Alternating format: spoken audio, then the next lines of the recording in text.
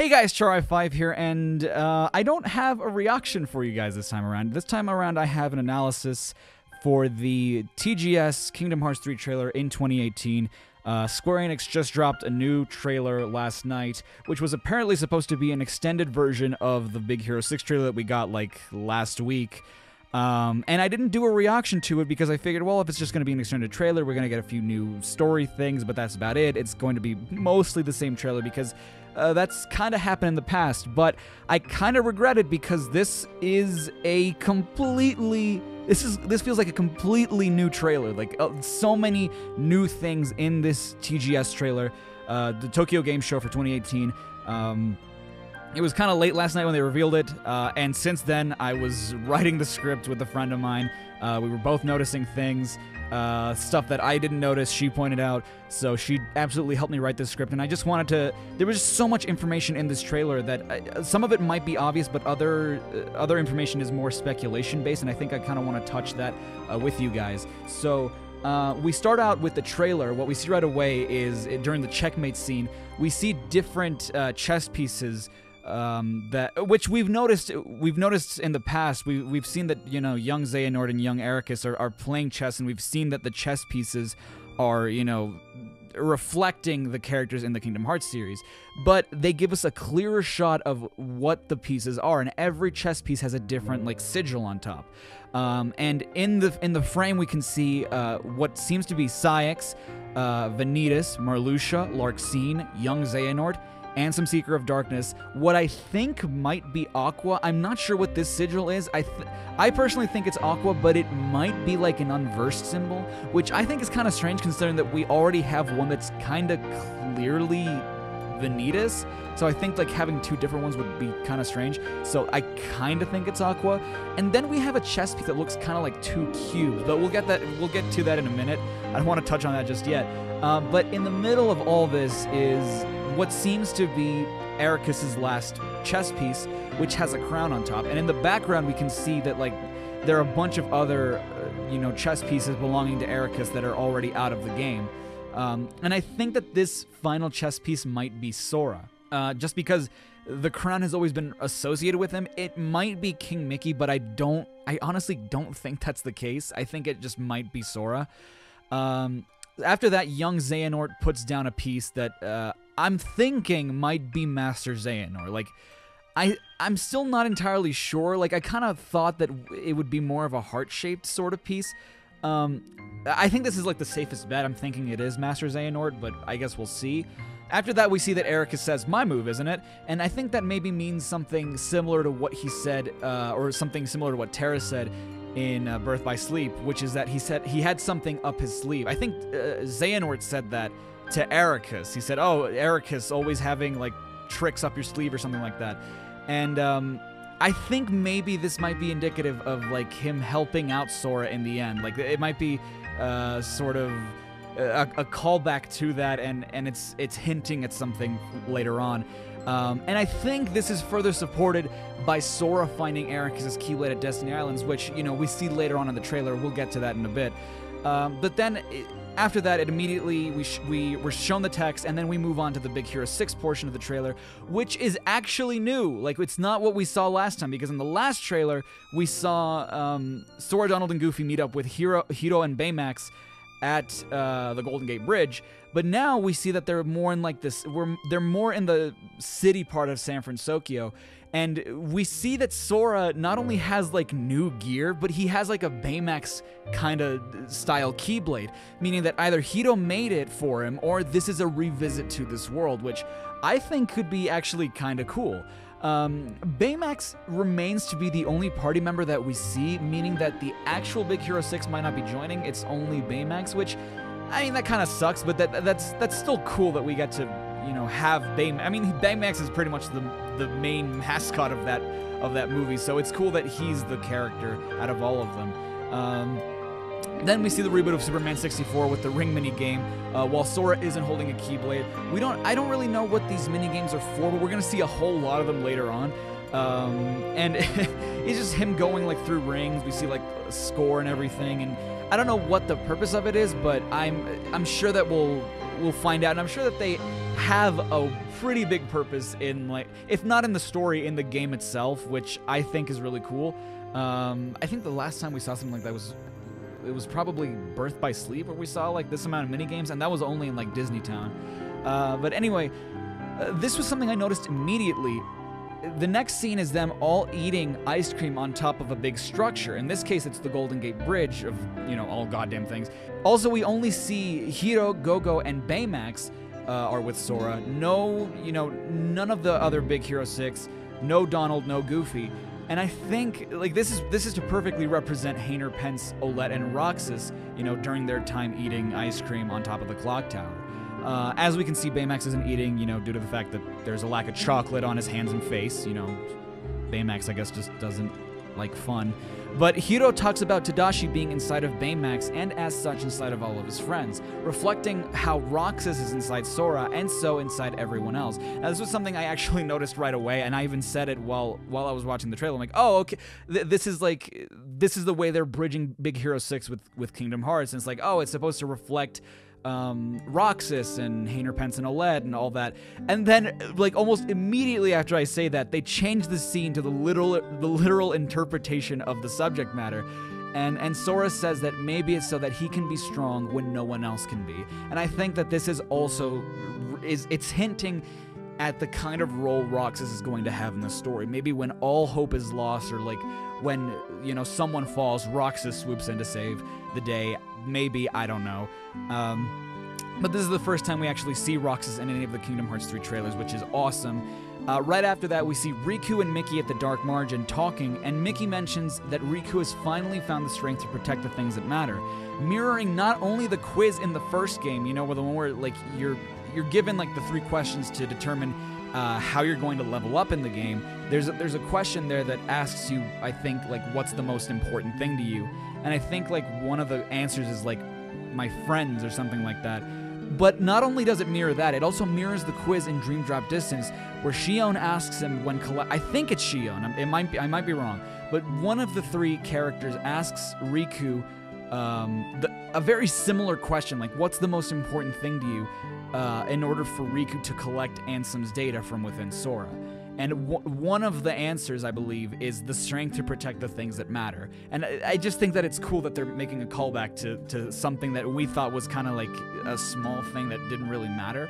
Um, in the very next scene, we see that Sora gets the new iPhone X or whatever it is and gets a call from Supple Boy, Ienzo, and they look disappointed that it's not their home slice Riku. Like all all three of our of our main people are disappointed because I guess it's been a while since they've had contact with him. Then again, what else is goddamn new? But they're I guess they're waiting for a call from Riku, which means that Riku must also have an iPhone X. Um, you know, to put a they put a deposit on it. You know, they had to take out another loan from the bank. Uh, all that money that they spent on Apple. Um, but also, Supple Boy's screen is like 200 by 200 pixels, so like it's just really weird because it, it, it always looked like a Discord call to me, which is really strange. But then like it's it's a box, it's like a square of a screen, despite the whole screen being a rectangle. It's like what kind of phone is Ienzo using that it just like the rest of the screen isn't being used? Uh, also, it, it's worth noting that I don't think Ienzo and Sora have ever spoken before, meaning that at some point, um, Sora, Donald, and Goofy have to return to Radiant Garden and meet up with him. Uh, maybe it's Ienzo himself who gives them the communicator. Uh, and if that's the case, if they're expecting a call from from Riku, that means that they all together go back to to Radiant Gardens and meet up with Ienzo and whoever is at the castle at the time as well.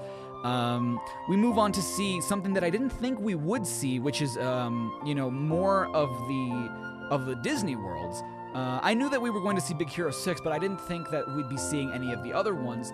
And if we did, we'd see like little snippets, but we actually got quite some information. We got Rap- uh, we got Rapunzel uh, being excited to see something outside of her tower. She's like, "Oh, it's fluffy. What is this?" She goes in um, to touch it, and like she's kind of excited, like in the movie. And when she touches it, it reveals the Heartless. And I'm, what I'm guessing is that this is the first time that they encounter the Heartless in Corona. Um, and th- something that my friend brought up was actually that these might have something to do with Mother Gothel, who we still haven't seen as a villain yet. Um, and maybe, you know, like how in the previous Kingdom Hearts games, like, despite the fact that the Heartless and, and the villains have really nothing to do with each other, uh, they always have something to do with each other. Like, it's always the villains controlling the Heartless or something like that, especially in the first game. I'm thinking that maybe this is a similar case um, where where Mother Gothel is kind of controlling those Heartless and is impeding Rapunzel from like going out uh, into the kingdom. Um, but even though we haven't seen her as a villain, someone we do see is Davy Jones from Pirates 3, making his debut as a villain in Port Royal. Uh, he, he, oh my god, I can't gush enough about how good Port Royal looks. There are a lot of tentacles in in Port Royal. Much many tentacles ensue. Uh, there's not a whole lot. We just see Davy Jones talking to, to Jack Sparrow, who like I think mimics what Davy Jones is saying before running away in a very you know um, a, a very Jack Sparrow like manner. You know, it's very very close to his original character. After that, we see uh, Sora talking to Anna while on their way to find. So they're just sitting there and looking out on the horizon. And Sora tells her that she's the only one that would be able to reach her. I think that's maybe a reflection of you know Sora's own experience uh, when trying to reach Riku after they went on a similar like journey where Riku kind of got mad and you know he he went away causing you know some trouble and and Sora went after him and and I think Sora is maybe talking from experience to Anna, you know, trying to comfort her. Um, after that, we see Sora on Destiny Islands again, mirroring the very first trailer for the game we got back in 2013. That was five years ago. And we're finally seeing now the connection between Sora going to Destiny Islands and, and picking up that Keyblade. Now, something I didn't know, and I'm actually going to check it out right now, is whether or not he has his Kingdom Hearts 2 attire, because I don't think he did. Yeah, no, Sora has his Kingdom Hearts 3 attire in this trailer. So already that's kind of changing from what we were initially uh, shown because in in the very first trailer Sora still has his Kingdom Hearts 2 outfit. So they've updated that to now be his Kingdom Hearts 3 one. Um, and I, I, don't know how this is displaced. I don't know what like exactly what goes on there. Uh, Goofy says some shit about guiding hearts or whatever, and Sora's like, "Okay, I believe you." Basically, it's Goofy telling Sora that if he found this Keyblade, you know that's that's a good sign and it means that someone is telling him that he's on the right path. And this is what i was talking about earlier with the, you know eraqus may be helping sora indirectly even though these two have never met before and probably never will meet. It, it's i think it's a good sign of like the past influencing the future. Now how this keyblade gets here i have no idea uh, but we'll get that we'll get to that in just a sec because remember that aqua had the keyblade in 0.2 so after that, we again see Luxord in Port Royal pondering what's in the box.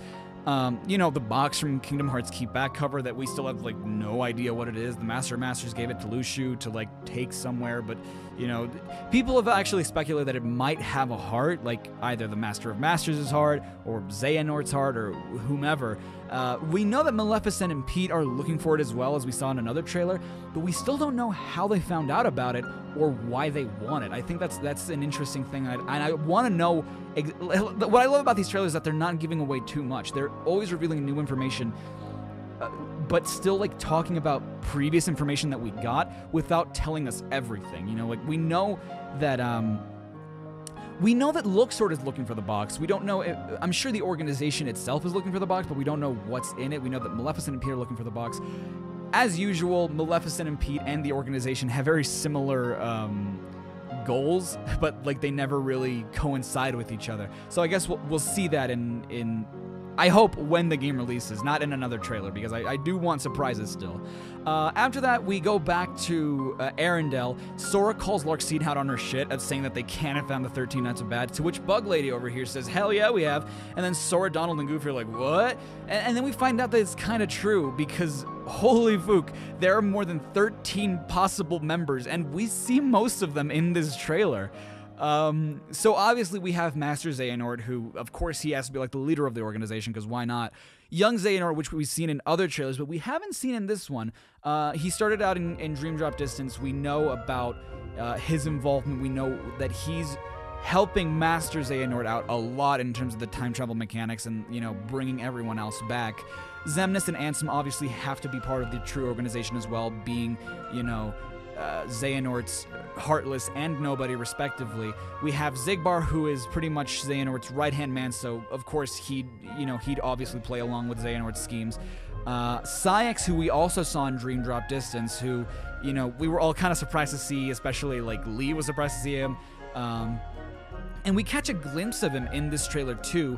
We don't really see a whole lot of him, and I, I kind of want to get into that a little bit later. Vanitas, whose face we haven't seen yet, we've only seen, you know, his his uh, helmet in this in these trailers. Uh, but I think it's safe to say he is going to be a Xehanort as well because he's always had yellow eyes, much like Xehanort. Uh, Marluxia, who in the very first trailer had blue eyes, but then was revealed to have yellow eyes.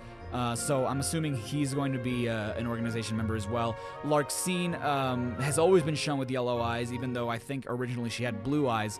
Uh, and I'm, I think it's safe to say she's part of the true organization as well because she's talking a lot about darkness and about the organization. She's the one that tells Sora, like, yeah, we already found our 13. Like, we don't have to worry about that. Uh, Luxord as well. I think he also he also has colored eyes, um, and we've seen them be yellow. Like in the very first Pirate, Pirates trailer, we saw Luxord again, um, and he's had yellow eyes since then.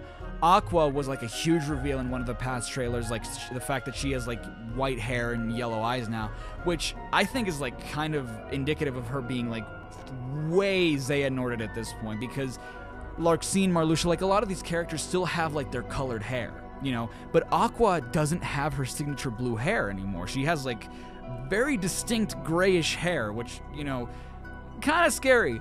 Uh, there's a Riku that we see in this trailer that I'm gonna get into in just a bit. I'm gonna I'm gonna talk about who I think this Riku is, because uh, this is also kind of a big reveal for this trailer. Uh, and two more kind of big reveals in this trailer as well are Vexen and Demyx, who in, Demyx is another character that we don't know a whole lot about. We don't know about his involvement in why he was part of the uh, original organization. Vexen was a scientist for Radiant Gardens, and it makes sense that he was part of the original organization, but now we kind of see he's also part of the true organization, but we'll get into that in just a bit. I know I'm saying that a lot, but, you know, in due time. This is a three minute trailer, but it felt like six minutes.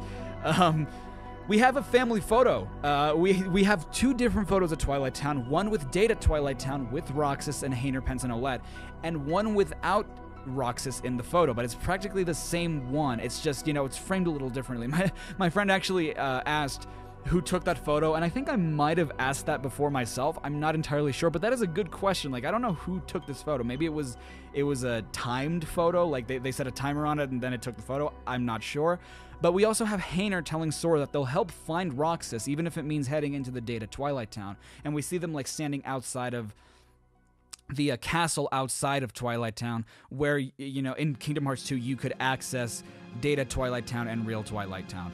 Uh, back in Port Royal, because we keep like jumping back and forth between Kingdom Hearts and the Disney worlds, we see a really, really cool battle between our ship and another ship. Uh, it, it, looks super intense. I think Sora's the one like actually uh, steering the ship and just the, the, way that we interact with the waves and and like the the, the health of our own ship uh, mixed with the speed of our own ship. It's kind of like a mini game within like an important part of the game. Uh, like I don't know. We suddenly fight the Kraken, otherwise known as Japan's ultimate fetish, the ultimate tentacle monster, which I think is also really cool that we're going to be fighting like a kind of iconic thing in in the Pirates of the Caribbean movies. Um, Sora is rocking that pirate outfit, fighting alongside Jack Sparrow again in a place I honestly at first thought was Corona again, but kind of with like muted colors. And I think I thought this because the Flower Nobodies were there that we saw in like some of the very first trailers that we didn't really know like what those were. Um, so we see those here in Port Royal as well, and that, that kind of threw me off. But like it's it's clearly the Pirates world, and it's looking great. I gotta say.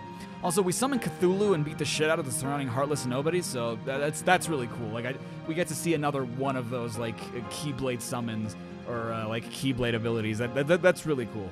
Again, we return to Mount Olympus, more specifically Thebes, where we get to see that trinities are a thing again by stealing the mechanic of Breath of the Wild with the Trinity sled, crashing into the like the little Flan Heartless, with the, which by the presence of a score looks to be like another minigame.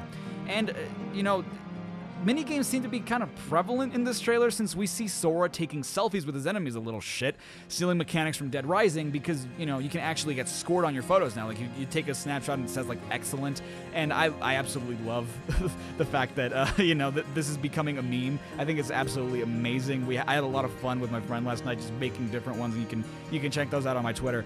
Um, so many things that like the key keepers have been posting. Just uh, so many people have been posting like these kinds of memes. Um, and, and this is a very similar mechanic to like other games. You know, like you can. You, I, I wouldn't be surprised if you see Sora like running around Alola taking photos of his favorite Pokemon or something. And and Final Fantasy 15 actually did a very similar thing with like taking photos and stuff. Uh, I think someone even made like a Prompto and Sora like selfie. That was that one really made me laugh. Uh, in the very next shot, we see that Sora's fighting a really big doggo. You know, he's not, not, not much of a good boy because he's so heckin' big. Uh, he's most likely a boss because he has like a really large health bar. It's like really, it's it's it's like boss long. You know, like where there are seven different stages of that boss meter. And what I'm, what I think is super curious is that Marshmallow from Frozen is in our party. You know that that big snowman thing that Elsa makes to protect her castle.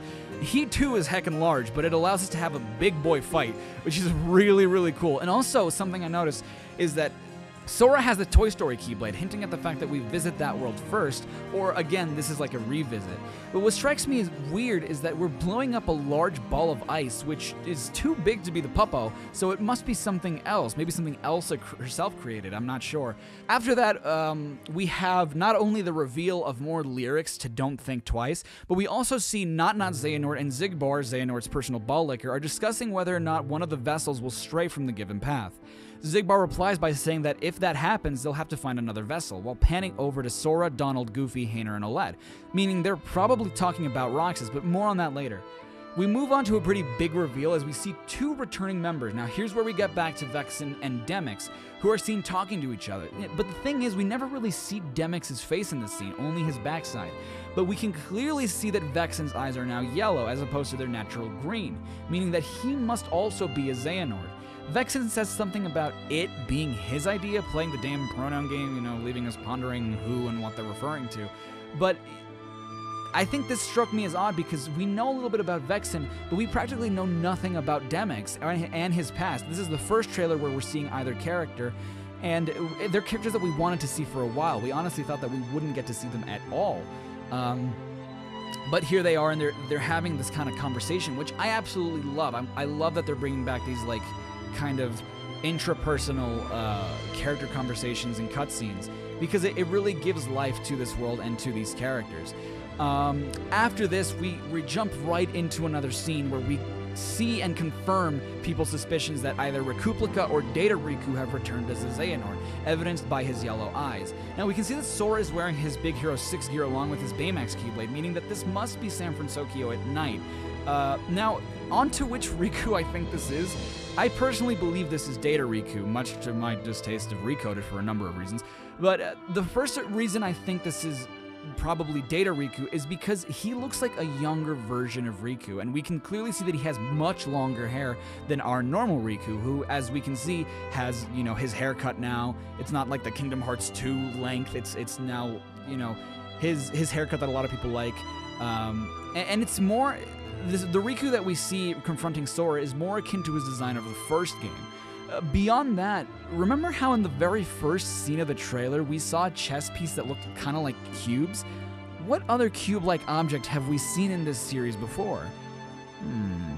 Oh, I know, the blocks from Recoded. You know, like, I think that's probably what that chess piece represents. I think th- there are two, like, blocks on that chess piece, and I think that's to sort of, like, uh, represent that they are the, like, the bug blocks uh, mostly because one cube would kind of be strange, and it, there are no indents on it or anything, so I think that may be what it's representing. Not to mention, Recoded is one of the only times we've ever seen young Riku wear the organization coat outside the ending of Chain of Memories. Um, Riku not only mentions that they're always trying to one up each other, which is something Data Riku would know, but Recouplicate would care more about. Like that, that I think that's kind of what throws me off.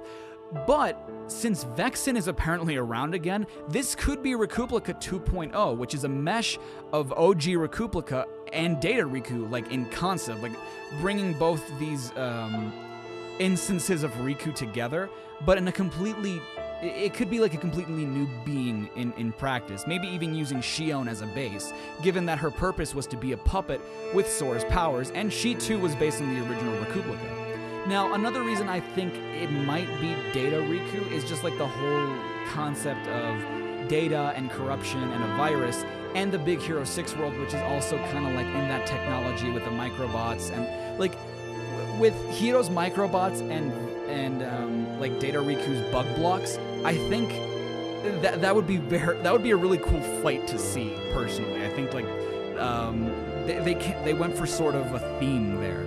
Uh, that also kind of leads me to think it might be Data. In the next scene, we see Vanitas and Ventus, who is still asleep for some goddamn reason. Wake up, kid, it's been over 10 years. In what seems to be the land of departure, meaning that Vanitas has, must have found Ventus and reinstated Castle Oblivion into the land of departure.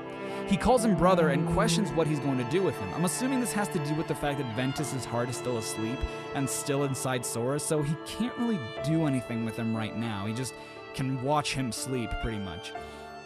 We again see poor Aquanord at the Dark Margin wielding that weird Keyblade, which looks like a fusion of the Kingdom Key and Starseeker, which I gotta say is actually pretty cool. Personally, I like the design. Uh, however, she's really pissed off and she wants to take out that pain on, well, I can only assume Riku, since Mickey's a little bitch who got trapped as we saw in the last trailer. Uh, the very next scene is huge. Like Honka Badonk Honka Do's huge since we see Donald, Sora, and Mickey of all characters, not not Goofy, but Mickey, facing Master Xehanort in what appears to be the Keyblade graveyard. It's also worth mentioning that this is the first time we're hearing Master Xehanort in the game since Chikao Otsuka's passing in 2015, voiced by who I can only assume is Kotaro Nakamura, who has taken over the role of Dr. Eggman in the Sonic the Hedgehog series. I say this because Otsuka sounded practically the same as both these characters, and this portrayal of Xehanort sounds incredibly close to Otsuka's voice. However, reports also state that Chikao's son, Akio Otsuka, who is better known as Solid Snake, has taken over his father's role, which would be amazing if that's true. I, that would be like actually awesome because he sounds so close to him, and and Akio actually has like a way deeper voice than than his father. Like uh, Chikao had like a very like raspy kind of voice, which is what we hear in this trailer as Xehanort. Uh, so if Akio is able to actually pull off his father's voice, that that would be amazing. Whoever has taken over the role is doing a fantastic job, though. Like it, whether it be one, whether it be the other, they're doing a great job as Xehanort. I, it, it really makes me curious, and I can't wait to hear who's filling Leonard Nimoy's shoes in the English role because that is those are some pretty big shoes to fit in, both in Japanese and in English. But the Japanese sounds amazing. Uh, we cut to see a normal Aqua apparently fighting Ansem's bodyguard Heartless and getting caught by the ankle getting swung. Now, this is something I didn't really notice at first uh, when I first watched this trailer, but upon seeing it uh, again and like seeing it frame by frame, I kind of deduce that it's either before she gets Norted or is indicative of something else at play. Like I don't, I don't know if her getting Norted is an actual thing. I don't know if like this this takes place before then, if this is the process of her falling to darkness. I'm not sure. But something else to note is that she's no longer uh, wielding Eraqus's Keyblade, which uh, she had in 0.2. Like back to back to Eraqus's Keyblade and back to uh, you know why it's strange that Sora has it on Destiny Islands. Uh, I think that at this point, the Keyblade is already on Destiny Islands, uh, probably already picked up by Sora, because she's she's not holding it. She's not using it to fight. She's just like flipping around, and she's not like trying to fight back at all. Um, but I guess we'll only see like then what happens to her. And I mean, it makes sense that she would get Norted because after that, she wouldn't have a weapon because her Keyblade is back uh, in the Light Realm in Radiant Gardens, um, no, in the world that never was. Uh, whatever. Uh, either way, Xemnas I think is the one that has it. um, like they, they have her her Keyblade warrior armor, and she she no longer has a Keyblade because the only other one she had was Eraqus's. Uh, we see in the next scene that Kairi and Lea are talking to each other, which really doesn't tell us a whole lot other than the fact that their bond is growing. And we see that Kairi's pointing her finger at her head the way Lea always does when he says "gotta memorize." So I'm I'm thinking that that's what she's saying to him, like in return. She's using like the "got it memorized" against him, which then leads into Demic. Like we we have like a, a bunch of like small little scenes here that leads into Demyx using a dark portal to arrive at the lab in Radiant Gardens, confronting Ienzo, but also carrying another scientist. Also worth mentioning is that we still don't see Demyx's eyes. They're closed in this part, even though we can see his face. And we can't see who it is he's carrying, but we might have an idea of who it is. The most obvious answer obviously would be like Even, Vexen somebody, but it raises more questions since we've seen Vexen already, unless he's leaving with Even so to turn him into a Xehanort. The the thing about that is, like, it looks like he walks forward, not back. So it, it, it kind of makes it a little confusing there. We don't really know a lot of people with the scientist guards. Even and Ienzo are like the two main characters that are like, oh, they were the scientists, you know, because uh, original Xehanort, or like Terranort, I guess, also kind of was a scientist, and Ansem the Wise was kind of a scientist, but I don't think it's either one of them because they're not really around anymore. Um, we see in the next scene after that that Ienzo has his head hanging low and Luxord is grabbing his shoulder. Not in a really menacing way. It, it actually kind of looks more like he's trying to comfort Ienzo, if anything. Again, this kind of raises the question about what kind of relationship Ienzo and Luxord have. Okay, so this is me uh, in the process of editing this video, and I actually just noticed something. Um, I went back and looked at Luxord's facial hair, um, and it doesn't really look like this person's facial hair at all. In fact, if you look at Luxord's nose, it doesn't really match up either. But there's only one other character with a beard that I know that's blonde, and that's Ansem the Wise. Now, it also makes sense that Ansem the Wise would be wearing not only the organization coat, but would be comforting Ienzo. So I think they just teased Ansem the Wise with this trailer. That's that's interesting. I didn't even think of that. If Ienzo's even in danger, is Ienzo a threat? Ienzo kind of seems to have a big role in the trailer. Uh, for a split second, we see. Back to Saïx, we actually see him approaching Lea on the clock tower in Twilight Town. Very similar to how Roxas, Axel, and Xion would approach each other in 358, with Lea having a very shocked expression. Now, mind you, we still haven't seen Saïx's face in Kingdom Hearts 3. Like there are a lot of characters who like they're not showing us their face yet uh, or their eyes, and eyes are like they truly are the window of the soul in in these uh, in these trailers. Uh, and maybe this could mean Saïx is Isa again. Like that that would be pretty cool. I doubt it, but it would be cool. Like Lea is still wearing his coat despite no longer being an organization member, so maybe the same could be true for a childhood friend. Maybe we'll see. Uh, we catch a mere glimpse. I'm talking like half a second of of Terranort. Yeah, the Terra with the white hair. We see like we don't even get to see his face again. Like we just see like his mouth and his hand, like he's grabbing his head like he, he's in pain or something. Uh, but there is another interesting thing here. We, if we observe the background, he doesn't seem to be in a dark place, meaning he's probably not in the realm of darkness anymore. But where could this be? I mean, it's not. There's not a whole lot to go off of, but the background sort of looks like rock to me, and the only place I can think of would be the Keyblade graveyard. After that, we see Vanitas holding his Keyblade above Aqua's body, and maybe this is him turning her to darkness. I'm, I'm not really sure. I'm actually kind of thrown off because again, this is the land of departure, not the realm of darkness or Castle Oblivion. And not only that, but it also seems like he's going to take her heart or something, maybe even time travel being a factor, because there's this ominous energy in front of them that I can't really make out. It's, it's really weird. Uh, we see the cock tease that we got from 0.2, where Zora, or Zora, Sora reaches out for Aqua, followed by Sora falling into a dive into the heart, which clearly belongs to Ventus, as evidenced not only by his Keyblade, but by the wayfinders that Aqua made him birth by sleep. Maybe this is Sora finally waking Ventus up. Following that, we see that Sora and Kairi are on Destiny Islands during a sunset, sitting on that tree, very similar to how they were in the first game and the intro to Kingdom Hearts 2. However, we don't see Riku with them this time. We after that we see Lea crying, talking about something most likely to Kairi, uh, and we can tell that this isn't Destiny Islands, mostly due to the fact that there's grass there. And while there is some vegetation on Destiny Islands, uh, we've never really seen it like this, despite the fact that this also play, takes place during a sunset. You know, the, the Destiny Island segments and the um, this segment with Lea are very similar in terms of its color. It- like you can tell that they're both during a sunset. But I, if anything, I say that this place probably takes place outside of Yensid's tower. Uh, We've seen uh, Kairi and Lea in a place that's kind of obviously not, you know, Destiny Island. So that's that's probably where they are, like right after Dream Drop Distance or something. Um, the trailer ends, however, with Roxas dual wielding what I can only assume is Oathkeeper and what is very obviously Oblivion, one of my favorite Keyblades, as he takes off his hood. Where he is, though, is a bit of a mystery to me because I, it doesn't look like a place that we've seen before. It looks like a Keyblade, but despite that, you know, like despite the fact that we've never seen it before, I know I've seen this place. Like it's it's one or the other. Like either we've never seen it or it's like a new version of a place we've seen before. It kind of looks like the Keyblade graveyard, you know, with all like with the sort of stone kind of aesthetic and the dust, but it's more brown than it is orange. Like the Keyblade graveyard, the Keyblade graveyard has more of an orange tint to it. Eh, but aside from that, we've never really seen a building there, and it looks too bright to be Twilight Town. Like Twilight Town looks more like it's it's Twilight Town is always you know during twilight. It's always like a sunset or it's always the dawn, whatever.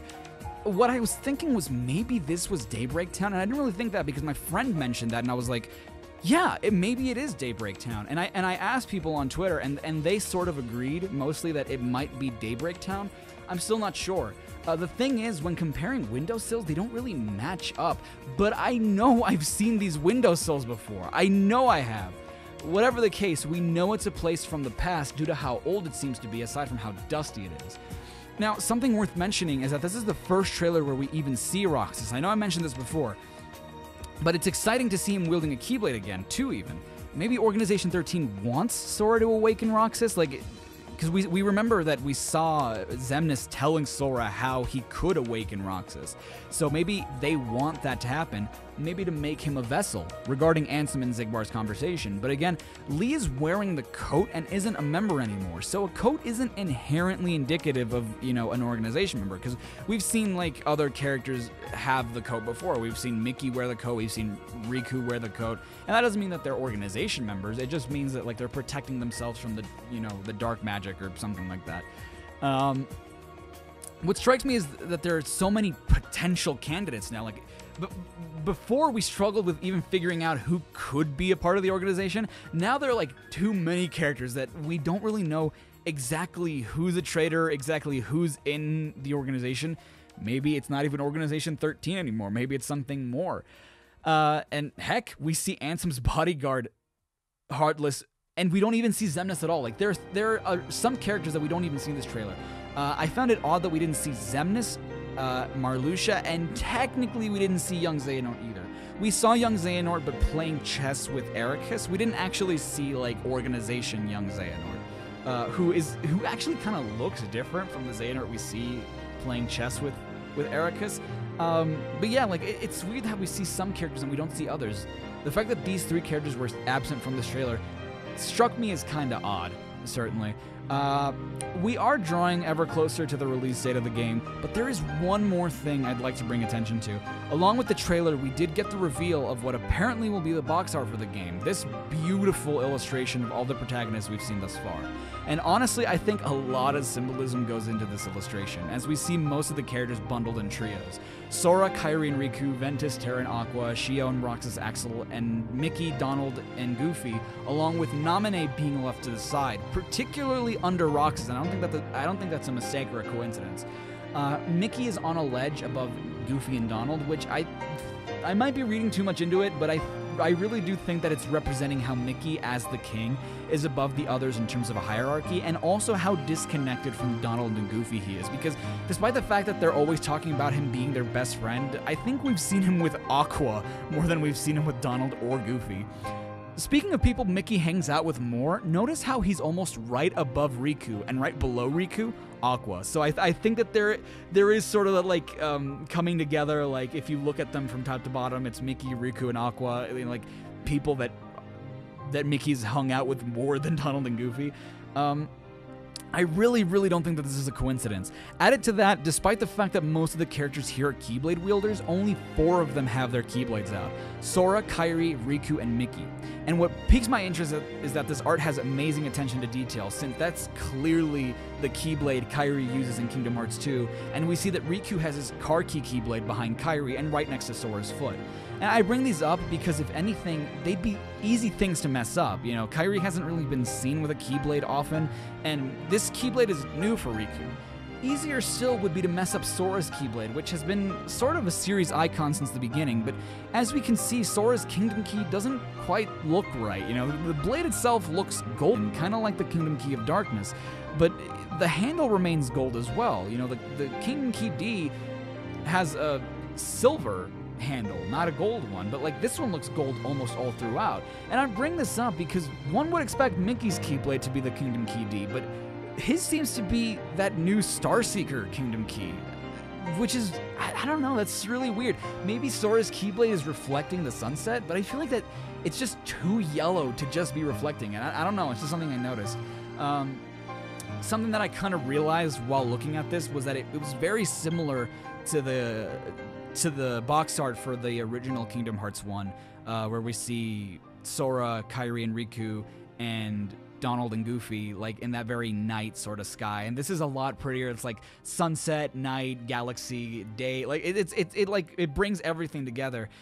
Um, and I think on a final note to end on, something that I noticed, which took me a little bit. It took me a little bit to notice, but I noticed that there were 13 characters on the bot on the illustration um, which I think, it, again, it's no coincidence that that's the case. Like these these 13 characters have been practically our protagonists, our good guys, um, and they've been with us almost throughout the entire series. So um, I just wanted to give my two cents on what I thought about the trailer. Uh, I wanted to analyze it a bit because I thought it was super, super interesting.